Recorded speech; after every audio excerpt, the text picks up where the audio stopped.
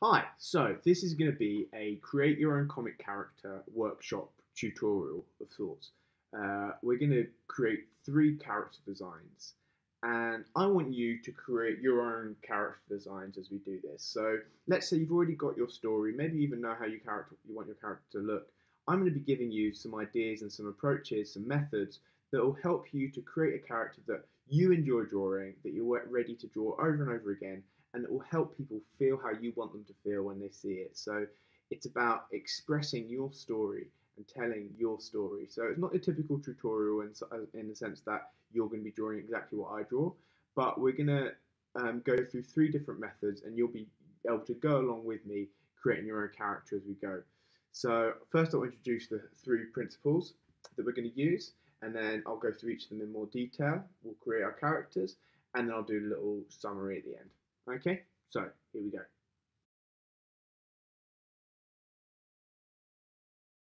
Right, so the first method we're going to use is to create a recognizable silhouette. Um, I don't know if you've heard about this term before, but you'll notice characters, comic characters, cartoon characters, The Simpsons, etc.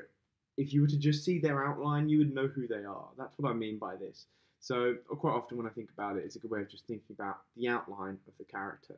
So let's say, for instance, a silhouette is really if all the detail is taken away from the inside of the character. So let's say you've got this shaded character here. Right? Now, that's quite a straightforward shape. Could sort of be anyone. And what we start to do is we start to add details. So we add maybe hair, spiky hair, big ears, uh, what else can we add? They've got shoulder pads, maybe these little shoulder pads that stick out here.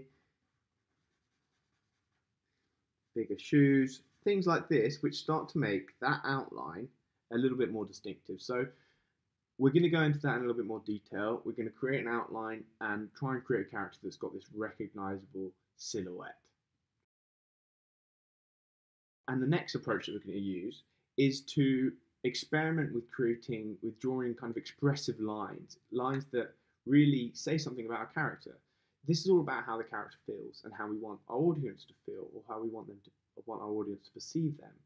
Um, so let's say our character is a very happy character. What I love to do is really try and get down an expression in one smooth line.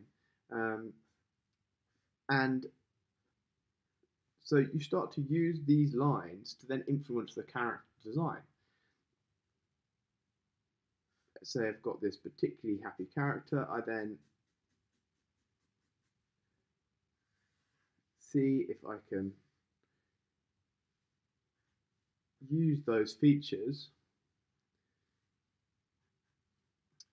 to create a design that embodies that personality, that emotion um, by accentuating those lines. So this will make a little bit more sense maybe when once we get into it. But the idea is just about creating these expressive lines that will hopefully help lead our design of the character.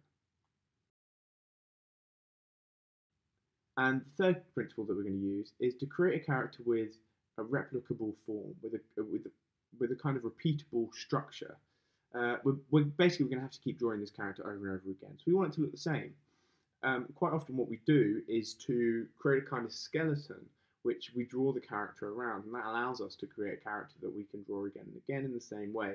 So to do that, quite often we use very simple shapes like circles and squares, and that allows us, by keeping it simple, it allows us to repeat the shapes and know exactly what it is that we're meant to be drawing. And you'll see that I also start to use kind of structural lines on the face so that we know roughly where the eyes are going to go, uh, where the mouth is going to go. And it helps us to create a character that looks at least roughly the same each time. So those are the three approaches that we're going to use. Let's get stuck into it and create our characters.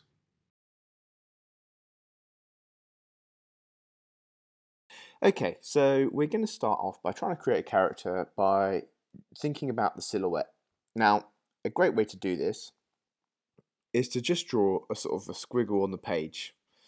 Um, now, obviously, that looks like nothing, uh, but that's kind of the point. What's good about this is that if we were to draw a person or a thing, we'd make it look a certain way. We draw something that looks like other things. We're trying to create a shape that's more distinctive, that's a little bit more unique. So this just frees us up and it allows us to think about shapes that maybe we haven't seen before, uh, an outline that we haven't seen before, and you'll see now how easy it is to turn this this squiggle, which looks like nothing, into a character. So just look at, do something similar on the page in front of you. Just draw a squiggle. Don't try and copy this squiggle necessarily. Um, and just place anywhere in the shape, somewhere that maybe feels appropriate, a face. And already you start to see that, well, maybe these parts of it could be ears. Um, this is its body, maybe this is a foot or something. I don't quite know what this shape is yet, but let's start adding details within the shape. Let's say if that is the, the face, let's give it a collar there and turn that into another ear, some ears there. So this allows us to start thinking of it in a different way. Um, maybe this is this is a little arm. Maybe there's another little arm out here. Which makes me think of this part as like a fin, actually. So it's not a, a foot, it's a fin. So by adding details to the inside, you start to see uh, you start to create maybe like a, a more original character, something that you wouldn't have thought about if you just sat down and and drawn something that you know what it looks like beforehand.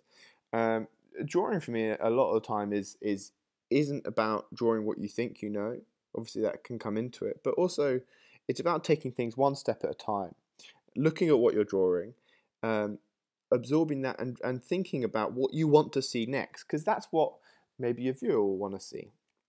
Okay, so the other thing about the, these these three techniques that I'm going to show you, so now we're sort of focusing and thinking about the silhouette, but they, there was going to be crossover between them. So um, later I'll talk a little bit more about the kind of structuring your character and creating this repeatable shape.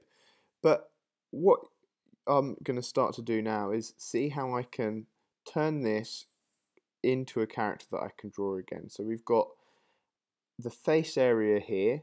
So yeah, that's like a circle We've got the fin here. We've got tiny little arms. And I'm going to draw some kind of structural lines here to go show where the face goes. And let's put the ears on the top here. So maybe it's only got ears on one side of its head. So it's an odd character. I mean, what I like to do now is also start asking questions who is this character? Why why do they have ears and a fin? why are they both fish and mammal somehow? Um, let's play on that a little bit more. Let's add a few more details to the inside. Maybe give it a nose and whiskers. Now, you'll see here, by adding those whiskers, I'm adding a little bit more detail to this outline, and that all helps. That all helps to make this outline shape a little bit more distinctive.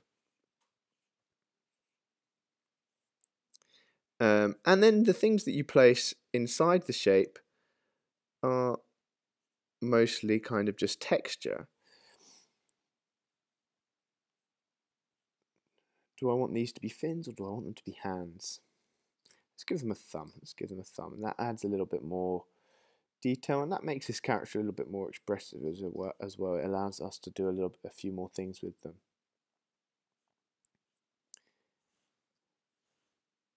Okay, so once you've started to create a shape like that, you start creating ideas, then you can just play with it a little bit more.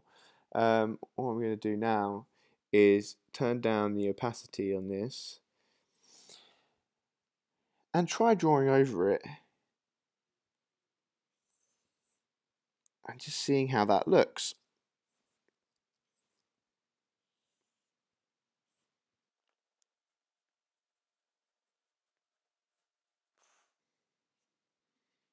and give them teeth because it's feeling sort of bunnyish. Got the whiskers there.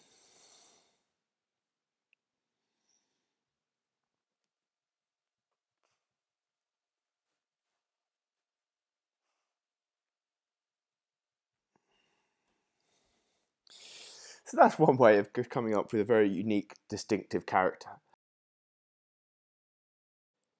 What we're going to look at now is how we can come up with a character concept using expressive lines. Because when we're drawing this character in the comic, we're going to be able to want to ex express ourselves through this character.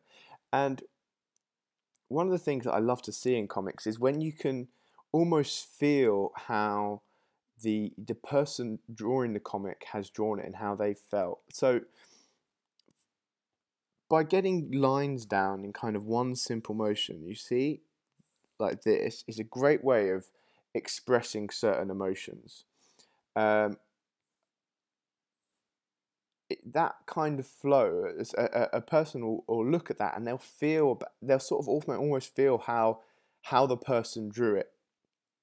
So getting one smooth line and doing smooth lines as opposed to kind of bitty lines, I think is is really important. Um, so let's see how we can start thinking about a particular emotion and transform that into these sort of expressive lines. So let's just think about a very a, a very happy character. So I'm going to do one big big smile like that, and another just like that. So this starting to meant to look like sort of laughing. I'm going to put some teeth in here. And but just everything here is about being motivated by that expression. Because, um, for instance, sometimes you might have a character who you know is going to be very funny, very happy. Sometimes you have a character that's going to be very sad or very angry all the time. So, starting with um, expressing yourself and expressing those emotions in the character is a great way to start off their design.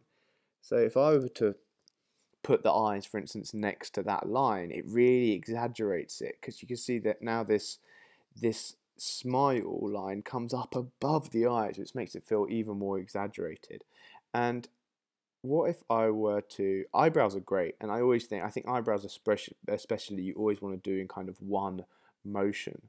Uh, eyebrows are so expressive and they tell so much about the character and how they're feeling. Um, so I want to use this fact. I sort of want to accentuate this. I'm going to make the brush a little bit smaller there so that this these lines stand out the most. Um, I'm going to accentuate this these lines a little bit by actually saying that the face sort of ends here like that. Um, maybe we just give them a little nose and these lines under the eyes sort of make them look a little bit tired now. Let's put a, let's put a tongue in there. You can see as well how uh, um, I wanted the tongue to also be expressive, so you can just doing it sort of. You've got this move, these strong movement lines in the tongue there, um, and let's let's exaggerate this this shape a little bit more as well. Maybe they've got hair on the top here some ears there. Now, you can see, for instance, like the previous lesson that we've just done um, about the this, it, this silhouette, this shape. So what we're creating here is we've sort of created this shape that's like a funnel at the top uh, with hair on the top here. So this this is a, this is the shape of a face which I haven't necessarily seen much before. Like it, it, it it's a great way of breaking out of the typical mold of where you'll do a face and it will look a little bit like an oval uh, and then you'll have hairline is and like that kind of shape we've seen a lot before but this one is is brand new so you can see how using these expressive lines can help to motivate a new design for a character um,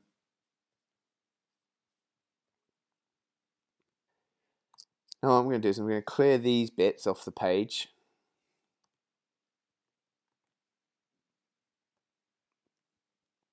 Let's bring this a little bit more centrally. And let's have a think about their body and how we can use expressive lines in their body. Now, one thing that I find always really helps, a great way to start a character when you're drawing them full body, uh, I'm going to switch the color so that it's more, it's a slightly lighter blue. Um, so this is going to be a kind of underlayer. Uh, when you're drawing a character in their full body, a great way for me that I, I like to start is to is to just get one expressive line that goes through their whole body. Uh, and that just helps to give us a, a bit of a structure and a form to build around, which I'll talk more about. Um, we'll talk more about next. Now we know that their face is this sort of semicircle with a rectangle on top. You can see how developing that sort of unique shape makes this instantly recognizable for us. They're happy. So we've got their happy expression here. And how else can we we use so that's this is almost like they're leaning back and they're maybe they've got their arms just like wide open, ready they've just seen someone that they haven't seen for a while and they're ready to give them a hug. Um, you see with the hands again. I'm not. I don't want to necessarily put a lot of detail into the hands. I get, I'm using sort of straight lines, smooth lines, because these lines are there. As much as they are there to represent the hands, they're also there to represent that movement, that expression, uh, and that's what's really important. I'm going to put a ball here, and let's imagine sort of exaggerating that that angle here, that curve, give them big feet like that. Their legs are sort of split apart maybe. Maybe they've got high trousers, braces. And now again, we're trying to create that sort of recognizable silhouette by, by exaggerating some of these shapes. Um, don't need a lot of detail in the arms necessarily. And you see there how we feel that emotion of this character that's excited to see someone, they're leaning back, arms out, ready to greet someone, and that's that's that's a moment in a story there, and that's exactly what we're trying to create. So, you what I've started to do here is also talk a bit about that form, that structure that we build these characters around.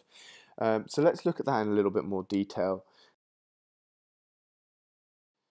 This is what I mentioned earlier as sort of the replicable form, uh, repeatable structure. What you're going to kind of remember when you're creating your comic character is that you're going to draw this character over and over again. Uh, you want to be able to enjoy yourself as you draw them, which is why the expressive line, like those lines, are fun to draw. Um, you want to be able to express yourself and do that, but you also want to make sure that it's recognizable over and over again. So it, it's good to start to give yourself and think about that internal structure. You saw I did it earlier with that fish bunny thing by turning it into a circle, by turning it into a by turning it into a circle, and then this sort of oval triangle. Um, I did it again with the previous character that you saw, happy character, by having a semicircle and a rectangle. Now, th these are very simple shapes that we're able to remember and what I do as well in this instance is often I'll, I'll give structural lines in the middle. So you'll have a line to the center of the face uh, and maybe another line which offers information on where the eyes are going to go. And not only does this help us to repeat the shape, but it also helps to add expression as well. You see the slight curves, maybe they add volume. So if you see the sphere here, if I was to do that line at a curve like that, what we're trying to imagine is we're trying to imagine that that is a sphere uh, rather than just a flat circle. So the curves can also imply a degree of volume. But let's let's say we start off let's start off with just those shapes. Let's start off with just let's say kind of rectangle. Now I've drawn this rectangle slightly bigger at the top that wasn't necessarily intentional, but let's go with it. Um, I'm going to put a line down the middle to give us a sense of symmetry. Now you see the line is slightly over to the left, so I'm going to assume they may be looking over slightly to, to the left hand side. Um, and I'm going to draw this line, actually rather than going dead center, let's make it a little bit more interesting, maybe put the line just up the top here. So that is where the eyes are going to go. Um, and again, that's all about that sort of recognizable silhouette or that recognizable shape because it's a bit more distinctive. It's a little bit different to what we've seen before. Now, with the eyes at the top here, I'm going to make them look a little bit a little bit tired. And actually, what's cool is that line across looks like a mouth now. So I'm going to use that. I'm going to use that and make them look sort of grumpy. Uh, this person is not impressed. I'm going to now thicken up my brush. So let's say maybe you get a thicker pen and make really thick eyebrows. I've done that with a thicker brush because again, I don't I don't necessarily want to be um, doing that with lots of different strokes. I want to do it with like one stroke because it feels more expressive. Now, I'm going to add another shape down here. So that top shape is sort of a rectangle. I'll make this a sort of semicircle. And I'm then just going to use lines and very simple shapes here.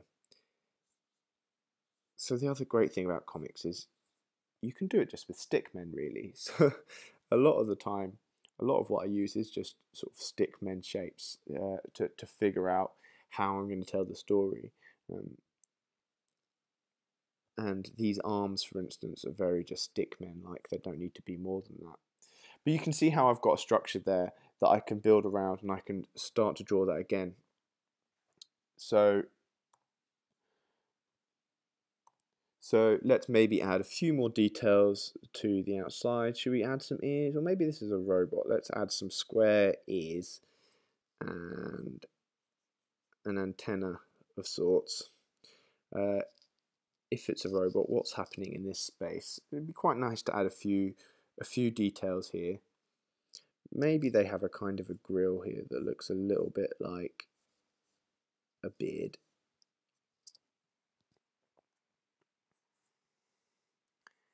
That's a kind of chin. So these details, it's just a kind of way of adding a little bit of texture, makes the character a little bit more distinctive. Um, I'm going to, you can see how we build around this shape. I'm going to add some sort of shoulders here. So this character is going to have these sort of shoulder pads. Maybe they've got a square in the middle here. And these are going to be the arms. Right, so what's important here is can we draw that character again? Well, yes, we can. We're going to try. It might not look exactly the same. Um, you would get a lot of practice once you started, once you created your comic character. You get a lot of practice about drawing them. Um, so I'm going to put their arms out. So I've used just one line to represent the arm if I were to add a second line, that just adds a little bit of thickness, a little bit of body, and let's say they're these sort of robot metal arms that have these lines on that. That's how they bend. And you got these feet, this door component. Um, what do we say? We said sort of shoulders here. Quite like them just as circles there actually. Um, not entirely sure what they do yet or why they're there, but I quite like them. Um, do I like this shape? And I'm not sure I like that beady shape, but the overall shape. So another way to do the eyebrows, actually, if you haven't got a thick pen, you can do draw them as circles. You see, again, I'm doing it in one motion, and then you can color it in like that. But still, that outer line is important, and you it still gets that expression element. Let's try and make this so we make this robot look a little bit happier now. And I have a zigzag on the top. So you can see that this is the same character, even though there are some slight differences, some slight changes, by using just very simple um, set shapes which we build the character around, they immediately become recognizable. Now I don't even know if we need these details here because actually I quite like the simplicity of that shape. Um, so I'm just going to leave it like that.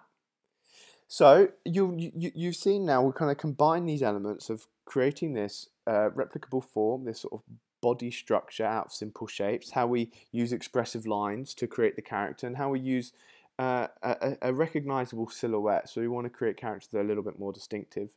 Um, but one final thing that I want to say, in addition to all of these, is how how um, important just the simplicity is and how you don't necessarily need to draw that well or even draw that much. You can do it.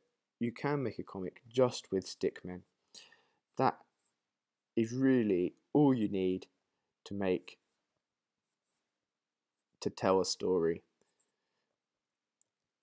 So go ahead, tell your story, create your character, and um, and let me know how you get on. I'd love to see some examples. I don't know if you follow along with me and copied my drawings or whether you've created your own, but it'd be really interesting to to find out. You can contact me at Andy Hammond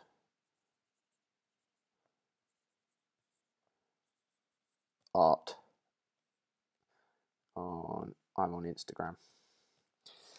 Uh, don't know if you can read that. That's my handwriting. Enjoy.